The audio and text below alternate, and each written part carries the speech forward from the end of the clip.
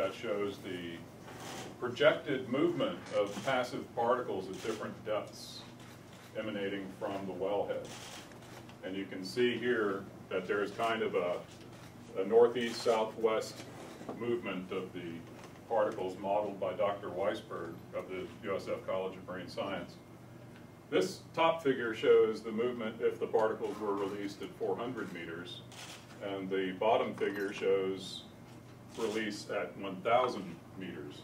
And in both cases, you can see that the oil is projected to follow the, the depth contours. They're a little bit hard to see with this lighting, but the depth contours run in this area, and the oil particles follow those depth contours. So when it came time for us to design the cruise, we uh, were very con concerned about these depth contours, especially in this case, we picked the 400 and 1,000 meter contours. So we have a series of, of locations that we sampled that we refer to as stations, and each of these involved the collection of water samples from repeated different depths.